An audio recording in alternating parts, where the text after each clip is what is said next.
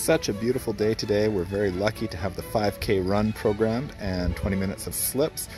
The hardest part was deciding what place to choose to run. The city is so filled with beautiful running routes. Should we go in the forest? Should we go on the beach? We've decided to go for the beach. So we're going to run out for 20 minutes and then run back, and then we'll do our slips.